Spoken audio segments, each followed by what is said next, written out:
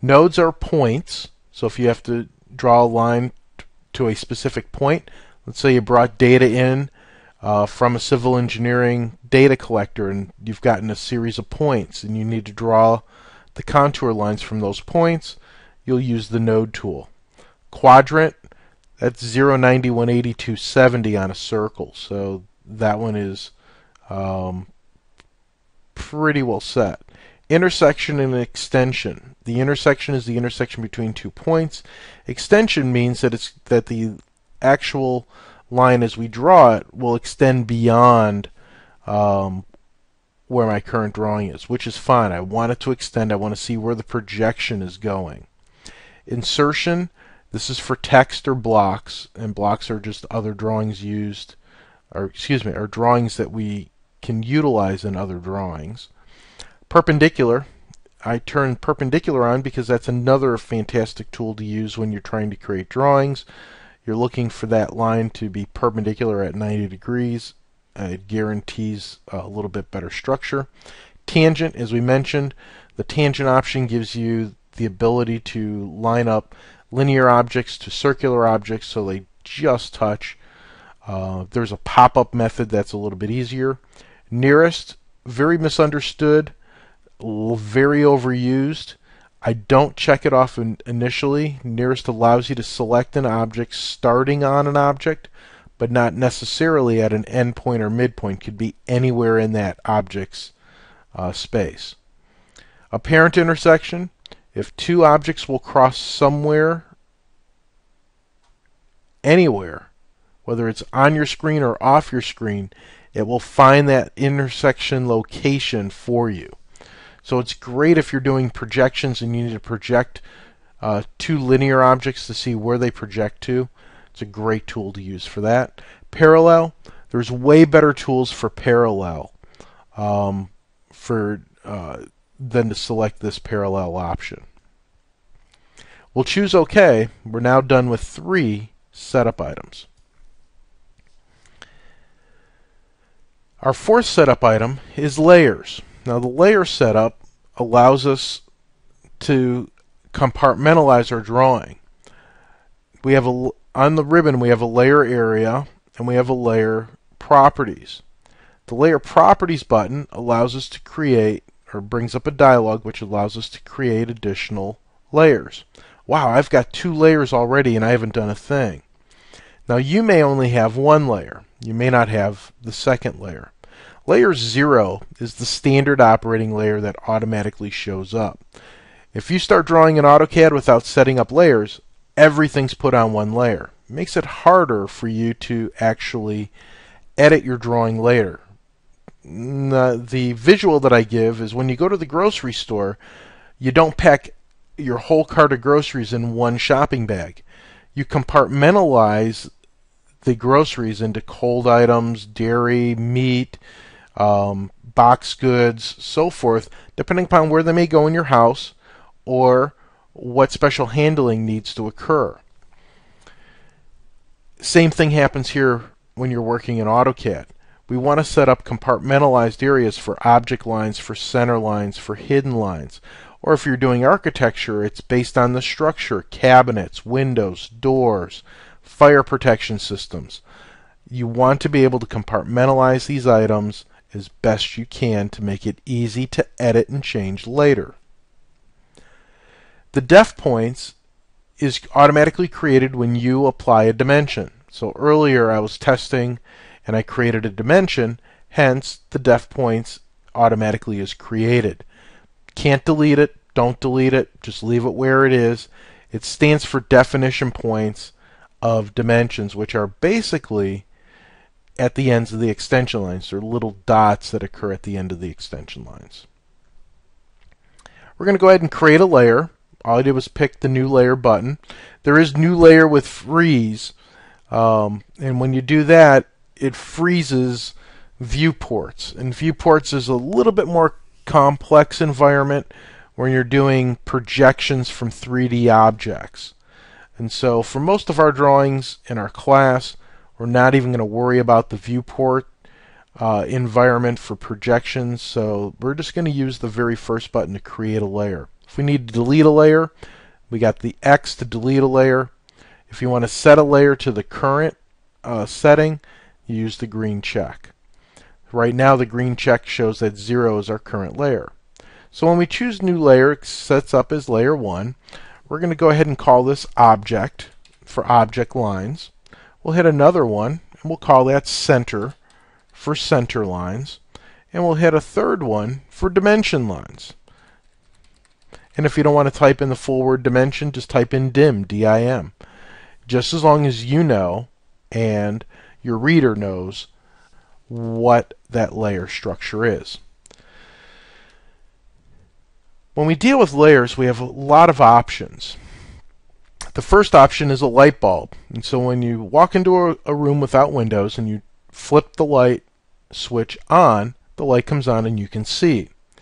And that's when you get the bright light bulb.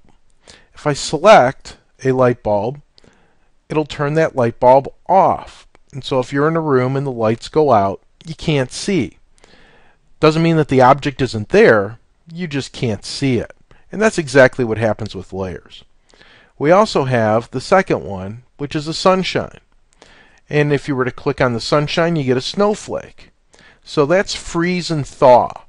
When you freeze a layer, put it into snowflake mode there, what happens is it's very similar to on and off, but it doesn't recalculate. Now, what does that mean by recalculating? It's not like your GPS, uh, where your GPS will say that it's recalculating. This was created way back in the mid 1980s. I say way back; it's you know 20 years ago, 25 years ago. When AutoCAD first came out, the software was so powerful that the current computers couldn't run it efficiently. So what happened was is that AutoCAD uh, would actually slow down the actual computer. I know it's really hard to conceptualize that now, but theoretically you could draw in AutoCAD and have to wait for the computer to catch up to you. Whereas today you don't have that problem. But freeze can be used for other things. And the idea behind freeze, or the way that it was used uh, back then, was you'd create a section of your drawing, you'd then freeze it. So it wouldn't recalculate it as part of an update later. And then you would draw another section, freeze it, and when you were finished with the whole drawing, then you would unfreeze all the areas that you froze, and you would have a complete drawing. It was very uh, cumbersome to manage it. Today, freeze allows you to um, draw variations. So if I have uh, plan A and plan B for an interior design layout, I can freeze plan A while I'm working on plan B. I can then freeze plan B when I'm printing plan A and vice versa. So it gives me some flexibility. Be aware that when you freeze, an, freeze a layer, everything on the layer is automatically turned off regardless of whether the light bulb is on or not. It's turned off if the snowflake is there. The third column is lock. This is a fantastic tool.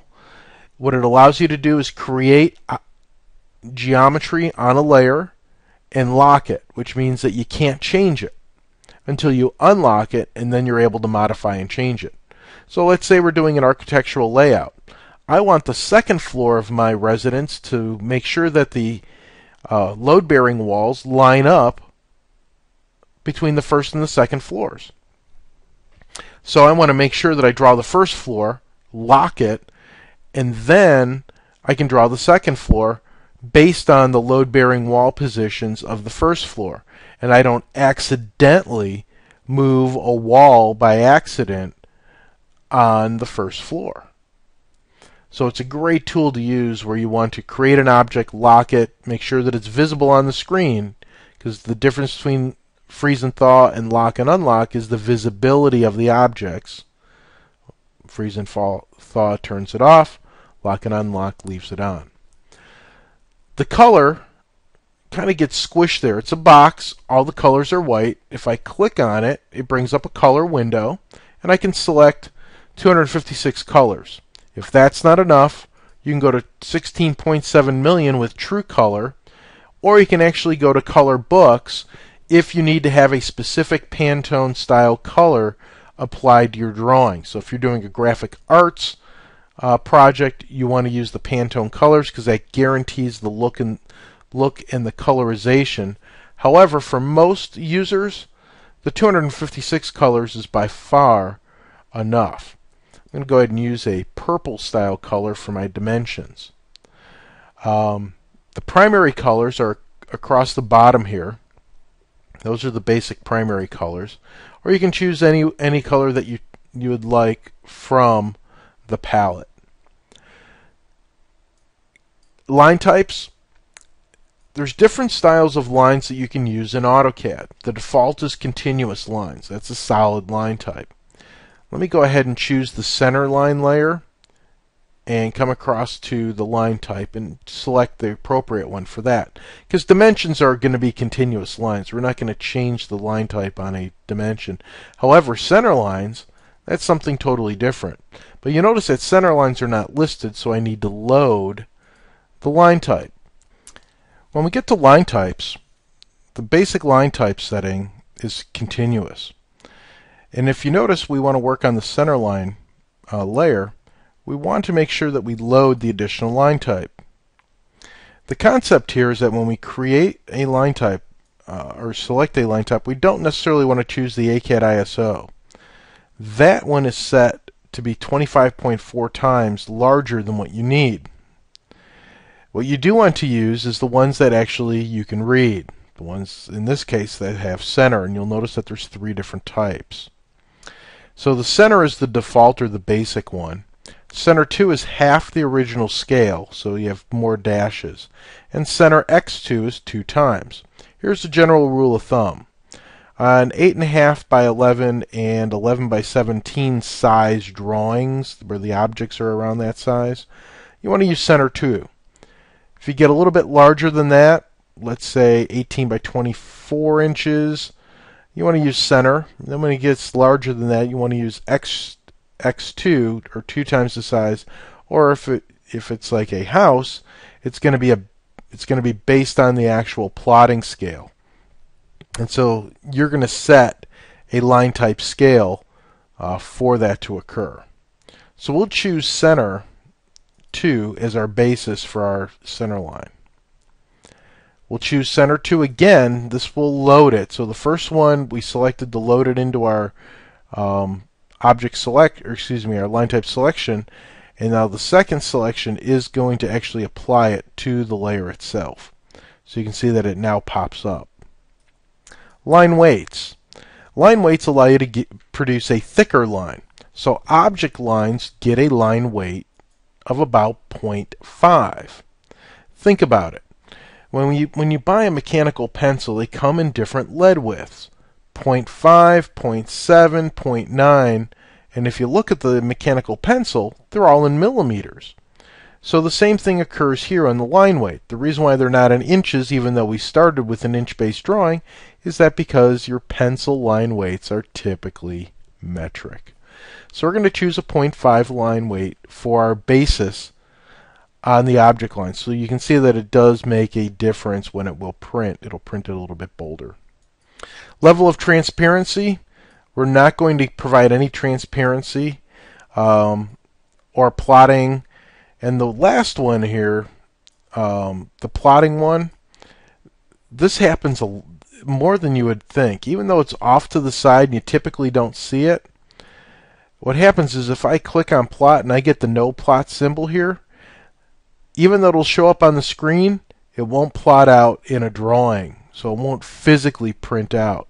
So you could actually have production notes on a drawing that you're creating for your own use, and then you don't want to plot that out on the production notes, so you can make that a non-plotting layer. Works out really well for a scenario like that. Okay, here's the leap of faith. Notice that there's no close button on this dialog box once you set these up, and let's go ahead and do a quick uh, green color for center lines. And then object lines we can leave white, or if you want to make it a light color, you want to make sure it's a light color that you can use. I'm going to leave mine white today. You have to hit the X, the close button in the upper left hand corner.